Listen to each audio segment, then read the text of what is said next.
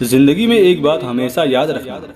हर कोई आपको समझ नहीं सकता और आप हर किसी को समझा नहीं सकते। जब माँ छोड़कर जाती है, तब दुनिया में कोई दुआ देने वाला नहीं होता।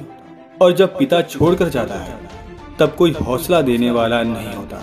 हम अपने बीते हुए कल को नहीं बदल सकते, लेकिन आज की मेहनत से आने वाले कल को अवश्य बदल सकते हैं। अगर आपकी वाणी में मिठास है तो आपका ना बनने वाला कार्य भी सफल हो सकता है।